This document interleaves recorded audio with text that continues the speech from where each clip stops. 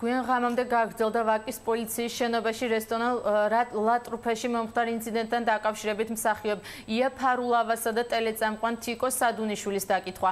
როგორც დაკითხვის შემდეგ ფარულავამ განაცხადა, ის რესტორანში მომხდარ დაპირისპირებას არ შესწრებია, რადგან ადგილი ინციდენტამდე დატოვა.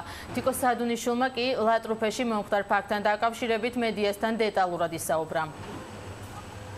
აბსოლუტურად არაფხიზელ მდგომარეობაში ადამიანი, რომელი მაგიდიდანაც ისმოდა უწმაწური სიტყვები, გინება, არ ვიცი და დაახლოებით ადრე იყო ხოლმე ეს რაღაცებზე ჩხუბი რა, თუდად რატო შემომხედე ბიჭო და ასე შემდეგ და იგივე თემა იყო.